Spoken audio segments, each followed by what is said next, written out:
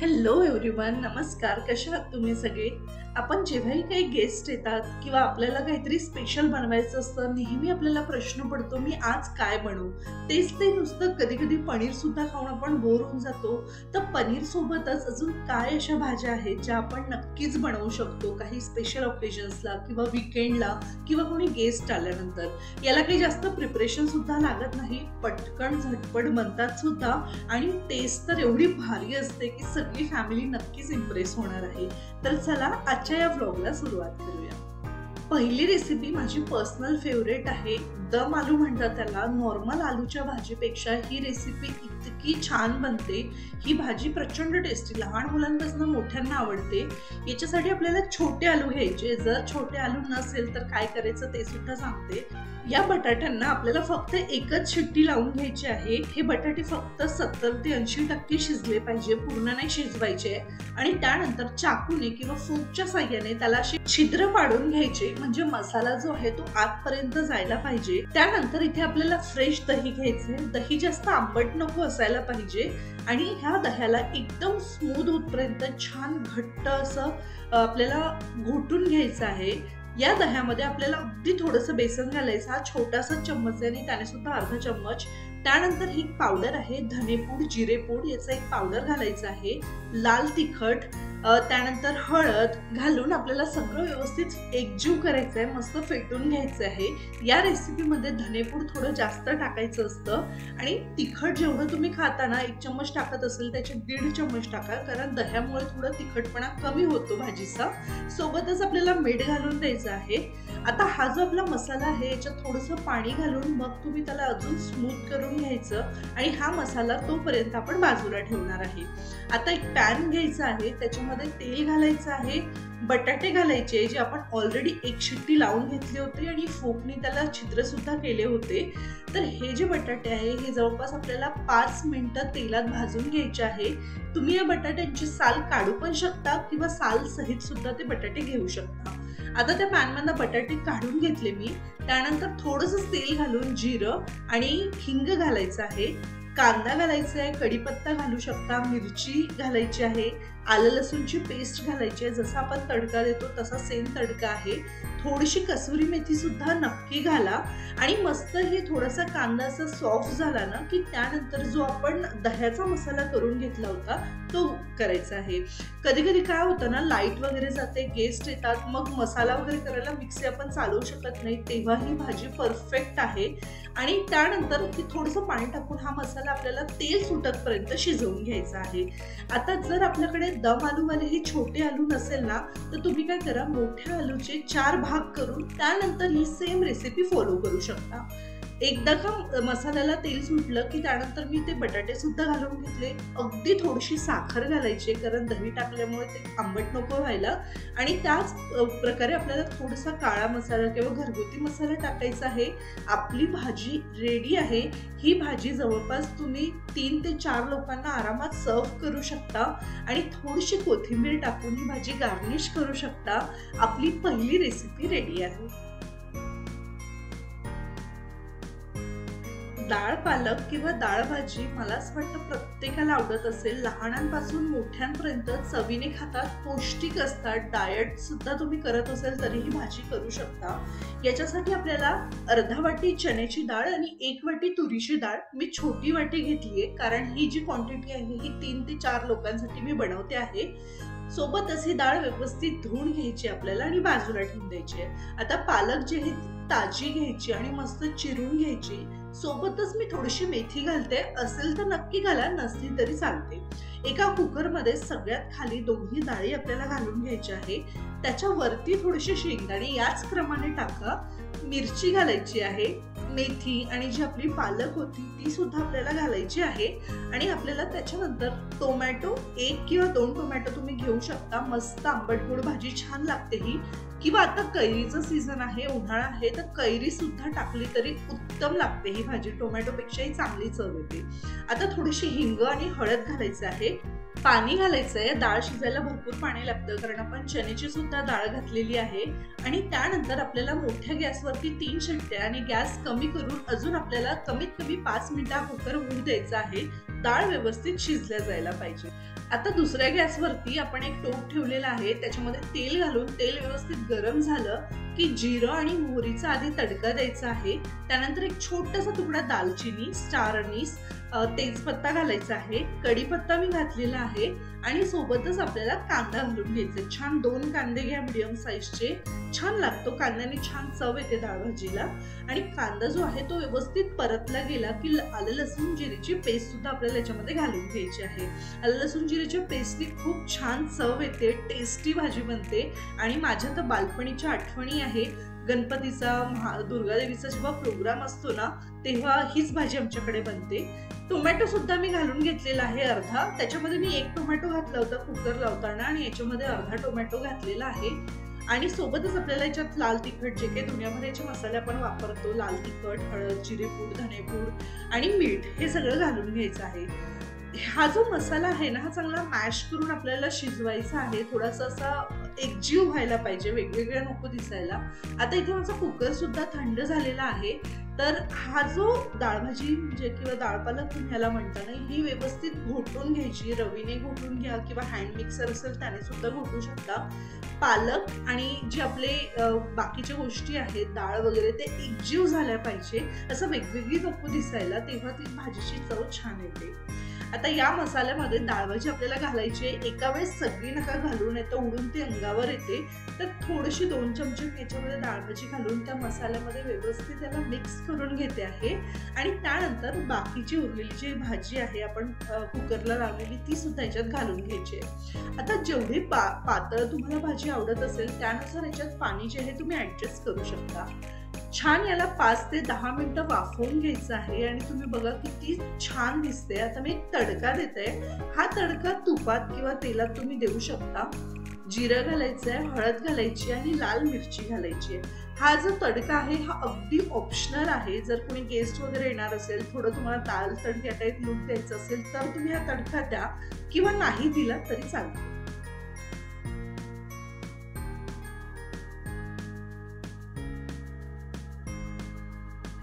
पनीर लहान मुलांना स्पेशली खूप आवडते किंवा गेस्ट वगैरे आल्यावर पनीरची भाजी केली तर त्यांना सुद्धा थोडं स्पेशल वाटतं. बर्थडे असेल काही स्पेशल ऑकेजन असेल किंवा असं नेहमी बनवू शकतं. तर पनीर बनवण्यासाठी तेलामध्ये जिरं काळी मिरी दोन तीन लवंग दोन हिरवी इलायची आणि एक मोठी काळी इलायची घालून आपल्याला व्यवस्थित परतून घ्यायचं आहे त्यानंतर याच्यामध्ये जवळपास तीन मोठे कांदे आपल्याला घालायचे आहे. ही रेसिपी चार ते पाच लोकांना पुरेल एवढी आहे. तर तीन ते चार कांदे आपल्याला वापरावे लागतील.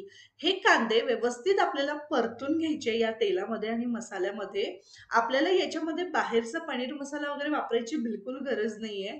तर हा कांदा जो आहे तो छान थोडासा असा लालसर तपकिरी रंग आला तोपर्यंत भाजून घ्यायचा आहे. त्यानंतर मग आपण बाकीच्या गोष्टी याच्यामध्ये घालू शकतो. कांदा भाजल्या गेल्यावरती मी मध्ये चार लाल मिरच्या घातलेल्या आहेत. दोन तेजपत्ता थोडासा काजू घालायचा आहे. काजू नसेल तर बदाम वापरले तरी चालतात.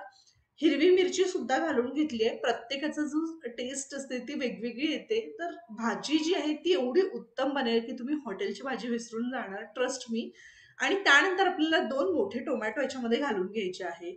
तीन चार कांदे दोन तीन टोमॅटो अशा प्रकारे तुम्ही याचा जो रेशिओ आहे तो ठेवू शकता. आता याला सुद्धा आपल्याला सॉफ्ट होतपर्यंत भाजून घ्यायचं आहे. टोमॅटो जे आहे ते सॉफ्ट व्हायला पाहिजे असे चंक्स नको असायला पाहिजे. हा जो मसाला आहे हा तसा तर आपला रेडी आहे जास्त याला भाजावा लागत नाही. पण आता मी याच्यामध्ये थोडंसं पाणी घालणार आहे. म्हणजे जी हॉटेलमध्ये एकदम सॉफ्ट ग्रेव्ही तुम्हाला मिळते ना असं वाटतं या ग्रेव्हीत काय टाकलंय तशी ही ग्रेव्ही बनते. पाणी घालून याच्यावरती झाकण ठेवायचंय आणि पाच मिनटं कमी याच्यावरती ही ग्रेव्ही जी आपल्याला ते शिजवून घ्यायची आहे. पाच मिनिटानंतर गॅस बंद करायची मसाला एकदम थंड होऊ द्यायचा आणि त्यानंतरच मिक्सरला वाटायचा. हा जर मसाला गरम वाटला ना पूर्ण उडेल इकडे तिकडे त्यामुळे एकदम थंड होऊ द्यायचा कम्प्लिटली आणि त्यानंतर मग आपण याची भाजी करून घेऊया. त्याच कढईमध्ये मी तेल घातलंय. थोडंसं बटर सुद्धा घालायचं आहे कारण बटरनी खूप छान टेस्ट येते. नसेल तर तूप सुद्धा घालू शकता. त्यानंतर आलं लसूण हिरवी मिरचीची पेस्ट आहे. आलं लसूणची पेस्ट टाकली तरी चालते. आलं लसूणची पेस्ट थोडी भाजून घेतल्यानंतर आपल्याला याच्यात मसाले घालायचे आहे. लाल तिखट घातलंय मी हळद घातली आहे. थोडंसं अद्रक किसून घातलं आहे आणि मीठ सुद्धा घालून घेतलेलं आहे. तुम्ही याच्यामध्ये धणेपूड जिरेपूड सुद्धा घालू शकता. इच्छा असेल तर. त्यानंतर थोडंसं कश्मीरी लाल तिखट घालायचंय. हॉटेलमध्ये कलर वापरतात. आपण घरी फूड कलर वगैरे वापरायची गरज नाही. त्याच्यापेक्षा आपण लाल मिरची जी आहे कश्मीरी ती वापरू शकतो. त्यानंतर जो मसाला आपण थंड करून वाटून घेतला होता तो मसाला याच्यात घालायचा आहे. आता हा मसाला ऑलरेडी शिजलेला आहे पण तरी एकदा आपल्याला तेलात छान शिजू द्यायचा आहे. पहिले असा एकजीव करायचा आणि झाकण नक्की ठेवायचं काजू किंवा बदाम घातल्यामुळे ही ग्रेव्ही जी आहे ती अशी उडते आपल्या अंगावरती त्यामुळे झाकण ठेवून शिजवायची. आता बघा तेल सुटले मसाल्याला तर आपल्याला याच्यात पाणी घालून घ्यायचंय. जेवढी तुम्हाला पातळ भाजी करायची असेल त्यानुसार पाणी तुम्ही घालू शकता. मला थोडी घट्ट आवडते हॉटेलमध्ये सुद्धा घट्ट आपल्याला मिळते. मी कसुरी मेथी घातली आणि कोथिंबीर सुद्धा याच्यामध्ये घालून घेतलेली आहे. कसुरी मेथी जी आहे ती मी भाजून घातली त्याच्यामुळे छान त्याचं पावडर बनलं. ही ग्रेव्ही सुद्धा आपल्याला पाच मिनिटं शिजवायची आहे. त्यानंतर मी थोडंसं किसलेलं पनीर घातलेलं आहे. लबाबदार जी भाजी आहे पनीर लबाबदार त्याच्यामध्ये किसलेलं पनीर सुद्धा पडतं आणि पनीरचे क्यूब सुद्धा पडतात. तर त्यानंतर पनीरचे क्यूब सुद्धा घातलेले आहे. इथे मी एक पाव पनीरची भाजी बनवून घेते. चार लोकांना सफिशियंट होऊन जाते. त्यानंतर कोथिंबीर सुद्धा घातलेली आहे आणि आपली जी भाजी आहे ती ऑलमोस्ट बनून तयार आहे. थोडंसं काळी मिरीचं पावडर घालू शकता तुम्ही. मी कसुरी मेथी घातलेली आहे. आणि बस आता एकदा फायनली दोन मिनटं पनीर घातल्यानंतर आपल्याला दोन तीन मिनटं भाजी शिजवायची आहे. त्याच्यापेक्षा जास्त जर शिजवली ना पनीर एकदम असं रबरासारखं होऊन जातं. त्याच्यामुळे पनीरला कधीच जास्त शिजवायचं नाही. तर दोन मिनटं फक्त मी वाफ काढून घेतली आहे आणि त्यानंतर आपण पनीर जे आहे ते सर्व करू शकतो. हे पनीर तुम्ही घरी बनवलेल्या तंदुरी रोट्यांसोबत अगदी गव्हाच्या पिठापासून मस्त तंदुरी रोटी बनते. त्यासोबत किंवा छान जिरा राईस सोबत सर्व करू शकतो.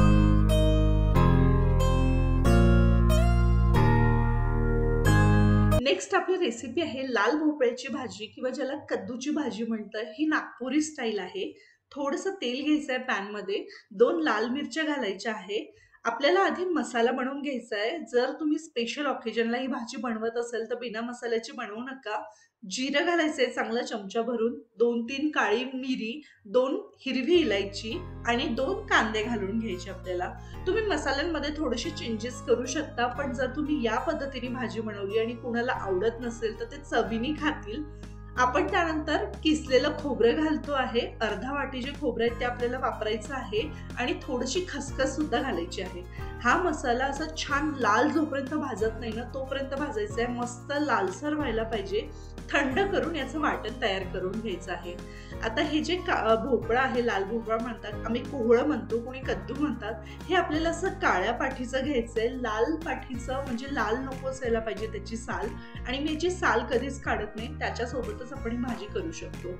या भाजीला तेल थोडं जास्त पडतं तुम्ही कमी सुद्धा घालू शकता. मी हे ना भाजी पितळच्या भांड्यामध्ये बनवते आहे. तेलामध्ये आलं लसूण आलं लसूणची पेस्ट कढीपत्ता मिरची घालायची आहे. तुम्ही जिरं वगैरे तेजपत्ता घालू शकता. त्यानंतर आपल्याला आपले मसाले घालायचे आहे. लाल तिखट जिरेपूड धनेपूड हळद आणि थोडंसं आमचूर पावडर सुद्धा तुम्ही घालू शकता. छान लागते ही भाजी त्याच्यामुळे आणि त्यानंतर जो मसाला आपण वाटून घेतला होता तो मसाला सुद्धा आपल्याला याच्यामध्ये घालून घ्यायचा आहे.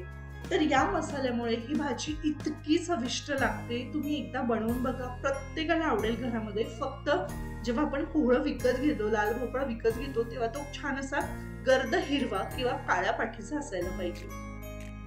त्यानंतर टोमॅटो घातलं मी. एक टोमॅटो घालून मस्त त्याला मॅश होतपर्यंत शिजवून घ्यायचं आहे. टोमॅटोची प्लीज प्युरी करून घालू नका. टोमॅटोच घालायचं आहे आपल्याला. आणि त्यानंतर मीठ घालायचं. मसाला छान शिजल्या गेला पाहिजे. आणि आता हा आपला जो मसाला आहे तो रेडी आहे. तुम्हाला आवडत असेल थोडी कस्तुरी मेथी घाला. नसली तरी चालते. कोथिंबीर नक्की घाला पण. आणि त्यानंतर झाकण ठेवून हा मसाला मी पाच मिनिटं शिजू देते जोपर्यंत तेल सुटत नाही. मग आपण आपलं जे कोहळं आहे ते सुद्धा याच्यामध्ये घालून घेणार आहे. तुम्ही याच्यासोबत बॉईल केलेले चणे सुद्धा ठेवा आणि ते सुद्धा घालून घ्या किंवा बॉईल केलेली चण्याची डाळ सुद्धा घालून घेऊ शकता. मी नेहमी काळे चणे घालून घेते कारण त्यानेच खूप छान टेस्ट येते. आता हा हे भाजी जी आहे या मसाल्यामध्ये आपल्याला शिजवून घ्यायची असते. पहिलेच पाणी नाही घालायचं. मसाल्यामध्ये भाजी जवळपास पाच ते दहा मिनटं शिजल्यानंतर आपल्याला पाणी घालायचंय. भाजी शिजेपर्यंत आपल्याला शिजवून घ्यायची छान. जवळपास वीस पंचवीस मिनटं लागेल. थोडासा काळा मसाला घालायचा असेल तर नक्की घाला कोथिंबीर घाला आणि तुमची कोवळ्याची किंवा कद्दूची एकदम भारी टेस्ट असलेली भाजी बनवून तयार आहे. मैत्रिणींनो जसा हा व्हिडिओ मी व्हेज भाज्यांवरती बनवला तर तुम्हाला असं जर पाच रेसिपी नॉनव्हेजची पाहिजे असेल की कोणी गेस्ट आल्यावर किंवा स्पेशल विकेंडला आपण काय बनवू शकतो तर मला नक्की सांगा मी तो सुद्धा व्हिडिओ बनवेल. जर घरात काहीच भाजीला नसेल तर ही सोयावडीची भाजी तुम्ही नक्की ट्राय करा. अगदी साधी सिंपल पण खूप छान. मी थोडी बारीकवाली सोयावडी घेतली अगदी मोठी घेऊ नका. एका पातेल्यामध्ये पाणी गरम करायचं आहे त्याच्यात मीठ घालायचं आहे. आणि ही जी सोयावडी आहे ही आपल्याला दोन मिनिटं बॉईल करून घ्यायची जास्त वेळ नाही दोनच मिनटं. त्यानंतर हे थंड होऊ द्यायचंय आपल्याला सोप होऊ द्यायचंय पाण्यामध्ये. एकदा का थंड झालं की ही जी सोयावडी आहे ती नंतर आपण बाहेर काढून घेऊ. आता एका वाटीमध्ये मी थोडंसंच दही घेतलंय. दोनच चमचे दही या याला जास्त दही लागत नाही. दोन चमचे दही छान आपल्याला घोटून घ्यायचं आहे. आता ही जी वडी आहे मी त्या पाण्यातनं काढून घेतली. सगळं पाणी छान याला दाबून दाबून वडीला काढून घेतलं. याच्यावरती आपल्याला आता ते घोटलेलं दही लाल तिखट हळद थोडंसंच मीठ घालायचंय. कारण आपण उकळताना मीठ घातलं होतं. थोडासा मसाला तुम्ही घालू शकता. तो सुद्धा घालू शकता किंवा मॅगीचा मॅजिक मसाला येतो तो सुद्धा वापरू शकता. याला मॅरिनेट करून ठेवायचं आहे वड्यांना आपल्याला. त्यानंतर तेलामध्ये आपण जिरं घालणार आहे हिरवी मिरची घालणार आहे आणि कांदा. कांद्याला छान अगदी बारीक चिरून घ्यायचं आपल्याला. नसेल तर चॉपरमध्ये सुद्धा तुम्ही चिरू शकता. त्यानंतर एक तेजपत्ता दालचिनी टाकलेली आहे आणि त्यानंतर आलं लसूण जिऱ्याची पेस्ट आपल्याला घालून घ्यायची आहे. आता हे पहिल्यांदाच तुम्ही बघत असाल की सोयावडीला मॅरिनेट करून आपण बनवतोय कारण मॅरिनेशन नंतर सोयावडीची टेस्ट इतकी मस्त लागते तुम्ही बनवून बघा. सोबतच आपण टोमॅटो घातलाय एक ते दीड टोमॅटो घालू शकतो. थोडंसं बेसनाचं पीठ घालायचं अगदी थोडंसं म्हणजे पाव चमचा सुद्धा नाहीये हे एकदम थोडंसं घातलंय. आणि आता याला छान भाजून घ्यायचं आहे तेलामध्ये. या बेसन पिठामुळे दोन गोष्टी होतात. एक तर भाजीला छान असं जाडसर टेक्स्चर येतं आणि दही जे आहे ते फाटत नाही. आता मी याच्यामध्ये लाल तिखट हळद जिरेपूड धणेपूड मसाला जे काही तुम्हाला टाकायचं ते टाकून घेऊ शकता. मॅरिनेशनमध्ये आपण थोडं थोडं टाकलं होतं. बाकी या ग्रेव्हीसाठी सुद्धा आपण इथे टाकून घेतो आहे. या मसाल्याला जसं मी नेहमी म्हणते छान मॅश करून आपल्याला शिजवायचं आहे एकजीव व्हायला पाहिजे कांदा टोमॅटो सगळं. आणि हा स्पॅच्युला खूप कामाचा आहे त्याच्यासाठी. त्यानंतर हे जे मॅरिनेट जवळपास आता दहा मिनिटं झालेत हे मॅरिनेट होत आहेत वड्या. तर हे सुद्धा वड्या सुद्धा आपण घालून घ्यायचे. तुम्ही अर्धा एक तास सुद्धा या वड्या मॅरिनेट करून ठेवू शकता. वड्या मस्त मिक्स होऊ द्यायच्या आहे. मसाल्यामध्ये पाच मिनिटं या वड्या शिजवून घ्यायच्या आहे. आणि त्यानंतर मग आपण याच्यामध्ये आता गरम पाणी घालणार आहे. थंड पाणी नाही घालायचे दही फुटू शकतं. छान गरम पाणी घालून आपण याला उकळू देणार आहे या भाजीला. ऑलमोस्ट आपली भाजी तयार झालेली आहे. झाकण ठेवा. पाच ते दहा मिनटं मस्त ही भाजी शिजू द्या. तशी तर आपले ऑलरेडी मसाला म्हणा की वड्या म्हणा ऑलरेडी आपण बॉईल केलेले आहे. पण या शिजण्यामुळे काय होतं सगळा मसाला आतपर्यंत जातो एक घट्टसर मसाला तयार होतो आणि तुम्ही बघा इतकी टेम्पटिंग दिसणारी जी भाजी आहे ती रेडी आहे. मस्त तेल सुटलंय. कसुरी मेथी जेव्हा काही स्पेशल ऑकेजन असतात ना आणि मी भाजी बनवते तेव्हा कसुरी मेथी नक्की घालते. त्याने एक वेगळीच चव येते भाजीला. कोथिंबीर घालून घ्या आणि त्यानंतर तुम्ही ही भाजी सर्व करून घेऊ शकता. तर फ्रेंड्स हा होता आजचा व्हिडिओ आय होप तुम्हाला व्हिडिओ आवडला असेल. जर तुम्हाला हा व्हिडिओ आवडला असेल तर प्लीज एक लाईक नक्की करा. आणि तुमची फेवरेट रेसिपी मला कमेंट सेक्शनमध्ये नक्की सांगा. Thank you for watching